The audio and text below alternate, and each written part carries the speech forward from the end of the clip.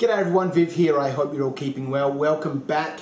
Um, I hope you can hear me okay. The camera is a little bit far away and you know I can't be bothered setting up any uh, recording equipment um, and I can't plug a mic directly into this uh, very cheap camera. So welcome back. I'd like to have a quick talk about Spectre operations. You know there's so many games that I'd love to play. You know I don't get a lot of time between Knights of Dice and um, my software company KB Interactive and um, to play games, but you know, I'm still interested in them. And every now and then, rule books come across my desk, or um, I go out searching for rule books, and uh, you know, I'm interested in you know a variety of games. And Spectre Operations is one of those rules that uh, that came across my desk a while back.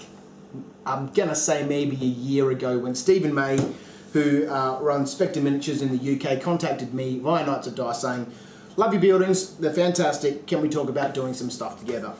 Now that has never really gone anywhere. Um, you know, I've got so many uh, uh, um, pots boiling and, and, you know, not enough potatoes to put in those pots that, um, you know, I, didn't really get around to doing much. And, you know, what I did do, you know, anyway, that's beside the, that's beside the point. Anyway, um, while I was in the UK this year, last year in April, I met with Stephen. So it's been it's been way longer than a year. Anyway, last year when I met with Stephen in Nottingham, and you know we, we caught up at a pub there, had a few beers, and you know sp spoke about you know gaming and models and blah blah blah whatever. Um, you know we had a chat about Spectre miniatures, and this year I picked up the rule book, or maybe I got it last year. I can't remember. I've had this for ages. Um, now, those people who have followed my channel for a while, I'm sorry, let me just, you know, stop right here. It's the middle of the night here. I have had a few drinks and I've been wanting to do this video for a while, so whatever happens now is probably going to be uh, a very long ramble. There's not going to be a lot of stuff to look at, so, you know, turn around, get your brushes out and keep on painting, or, you know, just flip over to the next video in the recommended video list. Um, but I wanted to film something for Spectre, you know, so I can at least get this ball rolling. There are a whole bunch of other games that I want to film videos for, and again, like, it's the middle of the night, like I just said. This is the only time I really get to do any sort of hobby work at home. After my daughter's gone to bed, um, after my wife's gone to bed, you know, now I can paint miniatures and you know all that sort of stuff, and now I can make some videos. So if I do this video, you know, I'm, hopefully I can start doing some more. if you've been following my channel for a while, I did talk about Force on Force, which is another modern gaming rule set, which is what Spectre Operations is, you know, for modern gaming. Um, but we'll get to that in a second. Um, and I never went anywhere with Force on Force, so I'm hoping that doesn't happen here because, you know, this game, like Force on Force, is very, very good. Um, the miniatures that Stephen May sculpts, he does, as far as I'm aware, all of the sculpting for uh, Spectre miniatures, and you can find links to their our web stores in the description of this video. They're very, very good figures.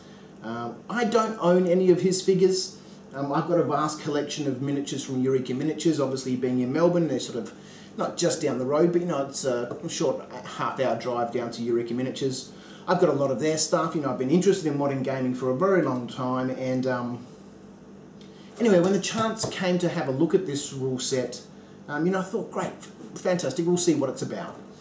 Now, I've looked at Force on Force, I've played Force on Force, I have all the Skirmish Sangin books, um, and so I thought I'd have a look at Spectre Operations. Because as much as Force on Force was a very good rule set, um, you know, it had some nuances that made the game difficult to play after you've had a few drinks. Skirmish Sangin is another good rule set.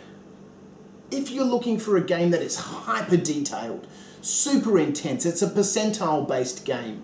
Um, you know, there's charts and charts and charts in that rule book. And I, you know, like I said, I have them all on the shelf over there. And you know, maybe one day when I'm really interested in, you know, devouring and analysing that rule book, I can sort of give a much more fairer representation of, of what that game is. But at the moment, you know, I haven't invested as much time into uh, Spectre, uh, uh, sorry, into um, Skirmish Sangin that I have into Spectre. Now, I'm yet to play a game of this. As I said, I don't get a lot of chance to play games. And I don't know anyone uh, in my area here that has actually ever played uh, Spectre. But, um, you know, that's, that's not to say that, um, you know, there's not people out there that might be interested in playing. So, what do I say about this rulebook? It, it is a beautiful, beautiful rulebook. How many, how many pages? It's 106, 7, 8, 9, 10, 11, 111 pages. And it is all rules and stats and scenarios. Obviously, being a modern game, you know, there's no fluff, there's no fantasy history, there's no sci fi history, there's no this faction, there's no that faction. It is all rules and stats. Um, and, you know, as much as I hate to say it, um, you know, because I know Stephen, you know, spoken several times, and I've met his wife Jessica. Um, she, she's done the design and layout of this rule book, and I'm really sorry, guys, but it's fucking terrible. Um, you know, I've I've read a lot of rule books, and I've played a lot of games, and um, this rule book, like version one of Malifaux, is terrible to read. Um, I, you know, I've read this rule book five or six times. I've made, you know, at least 20 player aids to make the game easier for me to understand and for me to teach people. The quick reference chart in the back of this book is, you know, fairly rubbish. I mean, it's got all the tables and everything in here, but even then, you know, there's, it's not a quick reference guide. You can't look at it. There's no, there's no turn sequence on the quick reference guide. Um, you know, th there's a there's a cover table modifier here. Um, and you know, there's you know, the, just the layout of this book. Direct fire combat, for example. You know, there's several modifiers that affect direct combat, um, direct, direct fire combat. Um, and you know, they're in different places in the book. And there's even a table here for direct fire modifiers, some of which aren't in that table. They're in other sections of the rule book. Um, it is littered with beautiful, beautiful pictures of wonderfully painted miniatures. Whoever paints these miniatures is fucking out of control. Um, they're the sort of figures that you look at and go, man, that's beautiful, I've got to have them. And when you get them, the figures actually are amazing. You know, the, the raw images that I see on the internet, you know, that's not, there's not painted detail on these figures. You know, some figures you see on the internet, you can't be sure sort of if the artist has gone to extra effort to actually paint in some of those details to make the figures look fantastic because you know I've bought figures like that and they've been absolutely rubbish. Um, or if the sculpture is actually very, very good. Now, in that sense, I mean, the, the rule book is beautiful to look at. I mean, it's lovely paper. It's thick, it's glossy. You know, it's a high quality book, but it's just very badly laid out. I'm not sure when the rules were written or, you know, how long, you know, they spent changing the rule book. I mean, there's some big names in the front of this book. Aly Morrison, Alan and Michael Perry.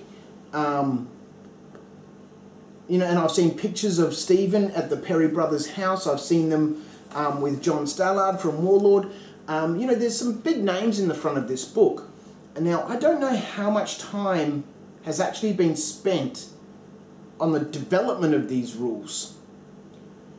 Because whilst they're relatively solid, there are some issues with it, you know, and I'll explain those as we go through future videos. Um, but the, the wording of the rules for a book that's 111 pages is full of, you know, spurious is not qu quite the right word, but, you know, just, you know, I'd expect let, let, let me throw this scenario at you, for example. Now, let's take War Machine, for example, right? War Machine, from the very first edition of War Machine, has been a rule set that has touted itself, and, you know, I'm comparing apples to oranges here, but, you know, the, the point will hopefully come across. If I can, if I can manage to get it across. Let me, let me just lubricate my lips. War Machine from the very beginning has been a rule set that has prided itself on being written from a tournament play perspective. There can be no alternate interpretation of the rule because it has been written in very specific uh, language and terminology that there cannot be any confusion. And that works very, very well in a tournament game. It has to unlike Games Workshop, unlike 40k, you know, it's, it's a massive game and you know, it's a very you know competitive game in some circles, and you know there's big 40k tournaments and whatnot. And, you know there's always rules discussions. Those two games, you know, they're in a different ballpark than Spectre. Spectre's not a tournament game. You know, we'll come to it in a minute. You know, it's a very narrative, very story-driven game, and I'll explain what Spectre actually is. Hopefully, hopefully soon. um, but the wording in this rule book, you know, it leaves a lot of questions. Now, I've posted quite a lot of stuff on the on the Facebook group. Um, again, link is in the description.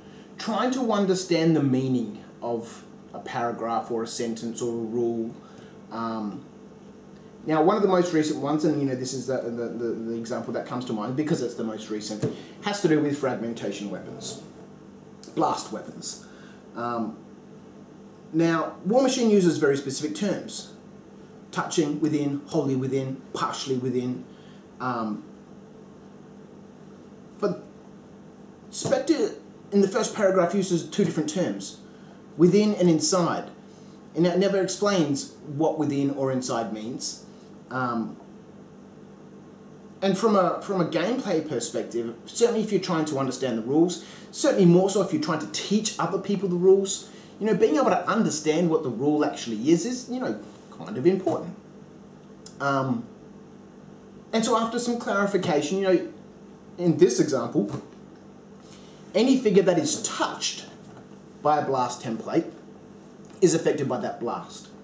Now, there's still some confusion in my mind because the, the responses came back, they said, if the miniature is touched, not the base of the miniature, because it's a 20 millimeter based game. It's designed for that. My entire collection, like most people, is based on 25 millimeter bases. Um, so they said, look, because people use 20 mil or 25 mil, you know, maybe use the miniature.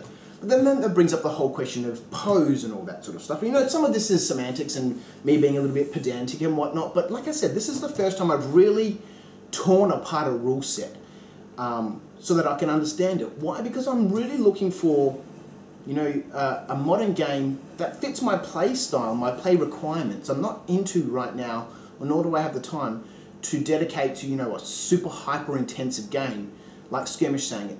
Um, I just want a fun, quick game to play.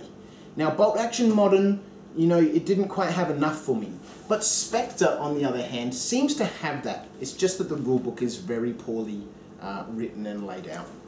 Now, so what is Spectre? Right, Spectre is, um, you know, it's based on, uh, you know, modern gaming, sort of, you know, the interpretation of what modern gaming is varies, you know, from circle to circle, from, you know, some people say from anything from World War II up to sort of 1990, maybe even 2001, you know, the first Gulf War, uh, maybe even 2010. It varies a lot, you know, anything after the first Gulf War is ultra modern. Some people think that after 2010 is ultra modern. But, you know, picture people running around in Iraq or Afghanistan, and pretty much that's what this rule set is for. Now, unlike Force on Force, which is really written from a sort of an asymmetric sort of perspective, or allows you to play both asymmetric and symmetrical um, battles, you know, Spectre is very much more orientated towards, you know, your elite combat team, your, you know, your Delta Force, your SEAL team, your US Force Recon or Rangers or SAS or whatever other elite sort of battalion or, or, or soldiers versus the unwashed masses. Um, that's pretty much what you know I see in this game. Um, now that seems to be what the rulebook is you know telling me. That seems to be what I see on the internets, on various battle reports, and on the Facebook group, and um, whether it can be used for symmetrical warfare. You know, you know, a US force versus a German force or versus a Russian force, you know, a more modern sort of combined army rather than your sort of insurgents or your militia or you know your local street gangs or whatever. Um, Spectre fits that sort of narrative. And it's a very narrative driven game. It's not a pickup game. You couldn't just rock up somewhere and go, let's play, you know, 100 points of Spectre. You could, by you, you could, but, you know, the game's not really geared towards that. It's really geared towards, you know, that sort of, that narrative, that, you know, that story-driven game where, You know, beforehand, someone designs a scenario of, of you know, this SEAL team needs to achieve these objectives. And you know, it works great as a little mini campaign game. Um, and you know, that's, that's why in this book at the back, or all throughout the book, um, you know, there's, there's lists and lists and lists of profiles and weapons, and you know, it's not quite as intensive as Skirmish Sangin, but um, you know, there's a lot of there's a lot of detail in here. It's not ultra complicated. You know, for example, this this rifles and carbine section. You know, it classes it into carbines, assault rifles, battle rifles, and dedicated marksman rifles. And it gives you some examples. You know, I have not, I'm not a weapons person, I'm not a modern person, but it gives you some examples. For example, an assault rifle could be an anything from the M16 series, the AK series, the SCAR L, the SA80A2, whatever the fuck that is. Um, it gives you some examples of a battle rifle, an FN, an FN FAL, a G3, a SCAR H, etc. Um, so it, it, does, you know, help to classify and group some of the weapons together. Um, but you know, the book's full of that. It does have rules in here for vehicles and, you know, off-table assets like airstrikes and all that sort of stuff. Um, you know, there's a, there's a lot in this book. IEDs and, you know, lists of equipment and stuff and, you know, it's, it's really geared towards kitting out, you know, a, a small group of fighters, soldiers, versus, you know, a much larger contingent of militia or, you know, tr trained uh, fighters, etc. There are different class levels in this game, um, and you know, there's a table here ranging from zero to level 12. You know, untrained civilians, militia, um, trained soldiers, professional soldiers, and elite operators, and you have team leaders and commanders within each of those um, levels. I do want to spend a lot longer, you know, analysing these rules so I can really understand them, finish putting together my player aids so that, you know, when I come to show other people the game, you know, it can flow easily and make sense because, like the very first edition of Malifaux, this is not a rule book that you can read you know, one or two times, and then you go, I've got a fairly clear idea of how to play the game. It is one of those rule books where you go, okay, well, I need to break this into sections. Let's have a look at the section for movement and figure out how that works. Let's have a look at the command phase. Let's have a look at the tactical action phase. Let's, let's worry about vehicles later on. Let's worry about IEDs later on. Um, let's worry about, you know, different sorts of weapons later on and, you know, get used to like the, you know, the direct fire and indirect fire and, um, you know, thrown weapons and non-lethal weapons, and you know, just slowly sort of figure it out. Um, so, as much as I'm rambling at the moment, you know, like I said, I have read this rulebook six or seven times. From what I've read, aside from some very, you know, peculiar things that I think might happen on the table, like suppression, for example, in this game is per model. Um, and you'll see later on when I actually start running through some examples you know, the table has the potential to be a little bit cluttered with some administration. And suppression is one of those things that perhaps, you know, I might modify instead of being, you know, individually man-based, you know, I might make it unit-based. You know, there's a couple of peculiarities from the reading through that just jump out to me and say that potentially is going to be a problem on tabletop. Again, keep in mind, I haven't played this game, right? And aside from watching some battle reports on YouTube, um, you know, I've never seen the game played. So with all that in mind, and you know this video rambling on for a long time, what do I think of Spectre? Let's put the issue of the rulebook aside. I think it may scratch the itch that I have for modern gaming. You know, it's narrative, it's story driven, and I love those sorts of games. Um, you know, that's why I'm interested in Tribal, and I want to do videos on that. That's why I'm interested in Twilight. Um, that I want to do videos on that. You know, I like small little games that have substance. Um, you know, a real reason to play the game, and perhaps, you know, leave some of the game uh, rules up to you. I mean, Tribal, for example, is a very, very simple game. You can read the rulebook and learn to play that game in 10 minutes. Um, but by that very nature, there's a, there's a whole bunch of unanswered questions that you as the player need to, you know, decide what am I going to do about this. The rulebook doesn't sort of mention something but not really tell you the rules. It's just not there. It gives you the core mechanics and the rest is up to you. I love it because of that. You know, it lets me play a story. Now, Spectre, you know, it's like that. You know, it's a story game, it's a narrative game. Um, the rules, you know, they seem fairly solid.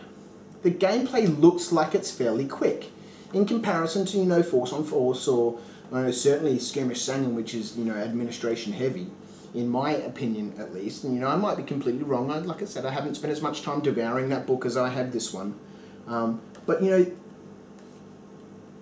there's enough in this rule book for it to be complex and in depth, but at the same time, the core mechanics, you know, are relatively simple. Um, is it worth looking at? Well, it depends on what you're looking for, really. I mean, there's there's lots of rule sets out there. There There's hundreds of them. Um, whether this one will be the one that you know really fits me, I don't know. I'll only know that when I actually start playing the game. But you know, the first part to playing the game is a just getting used to you know the very basics, and then you know really exploring the game uh, so you can get the most out of it. You know, I won't use vehicles for you know the first dozen games. Um, possibly, I don't know. Um, is it worth looking at for you? I've no idea. Hopefully, videos that I'll be doing uh, on this game and other games, you know, will give you an idea of you know what I see in a game and how I enjoy playing it, and certainly in relation to Spectre. Um, the videos that are on Spectre will clearly give you a much clearer idea of what I think of this rule set, excuse me, from Spectre Miniatures in the UK. So, there we go. Oh, this is another weird thing for me. You know, the casualties table here, you know, it lists out, there's six type of casualties. There's light wound, medium wound, incapacitating serious wound, incapacitating serious wound, catastrophic incapacitating wound, and catastrophic incapacitating wound. So there's six different types of wounds in here, and they all have different effects. But you know, two of them are called the same thing. That's weird to me. I don't know if that's a you know a misprint or a copy paste problem, or from what I understand, I don't think it is. So you know, my quick chart references and stuff. You know, I've had to rename some of this stuff, and um, just so you know, when you're explaining it to people, you know, this is a light wound, this is a medium wound, this is a serious wound, this is an incapacitating wound, this is a catastrophic wound, and this is a critical wound. Um, there's just a few, you know, you know, a few things in this book that you know, from a from a language perspective, you know, could have been much better.